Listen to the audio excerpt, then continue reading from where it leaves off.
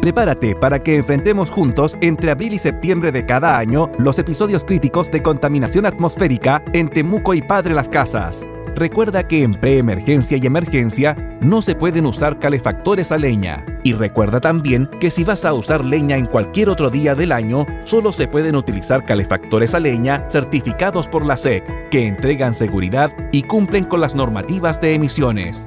Calidad de aire es calidad de vida para Temuco y Padre Las Casas. Gobierno Regional, Ceremi de Medio Ambiente, Región de la Araucanía.